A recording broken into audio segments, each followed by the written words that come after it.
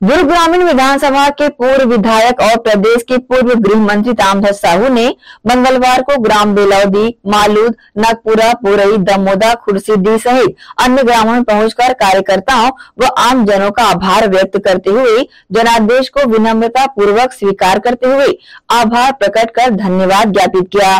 पूर्व गृह मंत्री तामध्वज साहू ने ग्रामीण जनों से कहा कि इन पाँच सालों में आप लोगों ने मुझे सेवा करने का अवसर प्रदान किया और सुख दुख में आपके परिवार के सदस्य की तरह साथ खड़े रहने का अवसर दिया। इसके लिए मैं आपका सदैव यही रहूँगा।